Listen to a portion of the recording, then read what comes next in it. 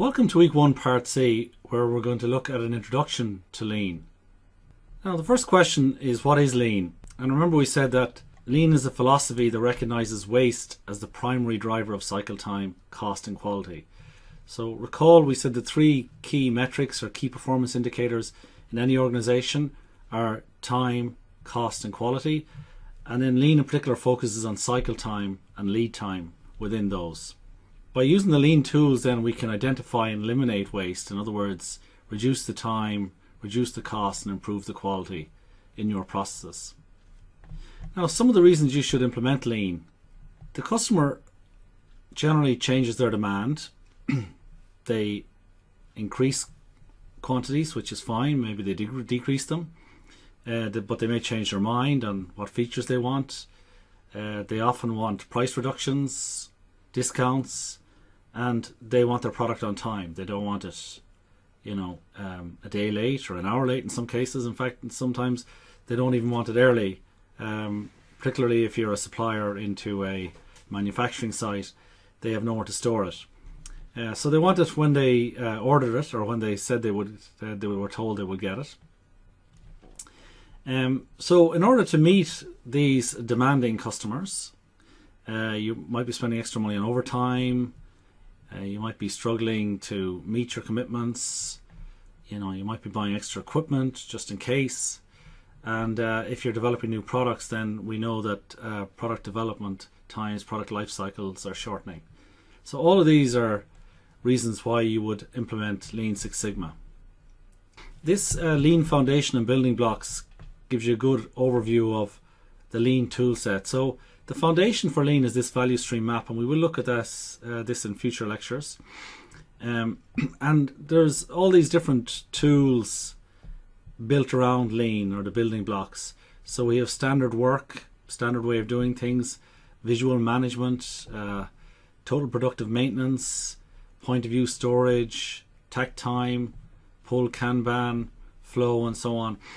And you can definitely go and, and look in the book and uh, look on the internet and, and check out some of these. But one we will look at in particular is error proofing. Error proofing, also called poka-yoke, also called uh, foolproofing. Error proofing is a more politically correct term. So we look at that in a future lecture as well. And then the roof of uh, lean is, is kaizen, Japanese for continuous improvement. Now let's look at some of the other tools here of lean. And you can see lean the lean master, which is kind of seen as like a Six Sigma black belt master, but it's not as popular. Um, it's kind of integrated into the Six Sigma black belt. Is um, you know looking at equipment effectiveness. So for people who have a lot of uh, investment in capital equipment, you can see some of the tools here that you would use. Again, you see error proofing pop, popping up. Um, again, I'm not going to go through these during this course, but I just put them there for reference. And then this word flow again, flow of your product or service. So layout optimization, pull systems, rapid assessment, performance metrics, and so on. One of the key messages of lean that I do want to get across is this idea of cycle time and lead time.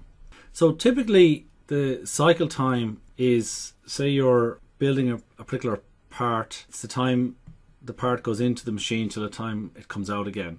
So or the time maybe you're working on a particular transaction. So that's the cycle time. If you measure that cycle time, let's say for example it takes five minutes. And the question then is how long does it take the customer to get their product or get the output of that?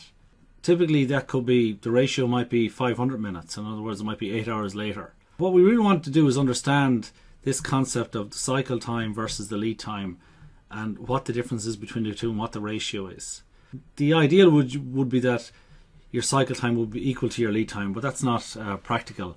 Uh, but world class can be less than 10 to 1. So this is a good way of benchmarking your process against best in class without even having to go out and, you know, talk to other suppliers, customers, competitors and so on. Now, why is this important? Well, let's look again. Let's say your the time from when the customer order comes to the time of the product delivery. These that can be in some cases it can be weeks. Maybe you're waiting for a hospital appointment, even um, you know waiting for a procedure. So this long lead time, what people tend to do is they tend to really focus in on the actual process itself within this area here. And in other words, they focus on the cycle time. And if you can eliminate the waste without doing anything else, you can see that you reduce your your your overall lead time. So really what you're trying to do now is reduce this non-value added activity in your process. So we talked a little bit about this, but just to remind you what, what, what value added activity. So we said value is added to a product when it changes the fundamental nature of the product or service. So when something is done to the product that the customer cares about and is willing to pay for. So, you know, when they're making your cup of coffee, if you're analyzing a blood sample, producing a report, you're adding value to it. Everything else is non value add. And given a choice, the customer wouldn't pay for non value add. Now, it's usually wrapped up in the overall service. But if you can eliminate the non value add, then um, you can provide a much more competitive product or service. So we'll have a look at again this concept of reducing the value add. So let's say again your overall lead time here, the value add time is less than 10% of your overall lead time. So let's say this was a day with value add, the customer will get their product to say in 10 days. Now what a lot of people do is they look here and they really focus on what's happening within the value add time. There's a lot of focus there. So instead of maybe workers doing a particular task in a day, um, they want the management wants them to do it in half a day. So they put a lot of focus here. But in actual fact, that doesn't really change the overall lead time because you're ignoring this non-value add time. Now, if the focus was put on the non-value add time, you can see that without even touching the value add time, you can reduce the overall lead time for the customer. So the customer is happy, there's less waste, um, there's less um, time wasted in the overall process, maybe less inventory, less stock. Okay, so let's say you walked into a lean company and you wanted to understand, you know, how would you recognize if if the company was lean or even your own company, how do you know if you're a lean organization? So how do you recognize lean? So you can see here that as you go through, you can see some of the characteristics of lean. So we have a continuous flow throughout your operations, minimal inventories at each stage of the production process. We have production capability synchronized to customer demand. We have quality built into the process, real-time quality feedback. We have pull systems in place. We have the whole value stream, what's called a value stream, from um, I suppose raw material right through the finished product, right out to the customer maybe distributors, suppliers, logistics people, and so on, tightly integrated, multi skilled operators, team based, and um, active involvement by workers in troubleshooting and problem solving, not just waiting for the maintenance guy, but doing minor maintenance themselves, which is a concept of uh, TPM. Okay, so just as a final slide in uh, this section, so we know lean, we talked about waste, cycle time, lead time, and some of the tools we might use in here. We talked about Six Sigma and the DMAIC process, eliminating defects, reducing variability, predictability, and so on, precision. But there's also um, a big push on now around uh, design for Six Sigma, also called DFSS.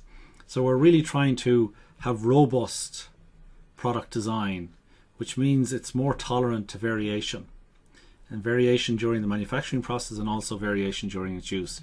And these some newer tools coming in around design for Six Sigma, such as VOC Voice the Customer, which we will look at. You know, capability assessment, robust design, predictable product quality. So if you do come across these terms, at least you'll see how they um, how they relate. Okay, uh, that's it for this section.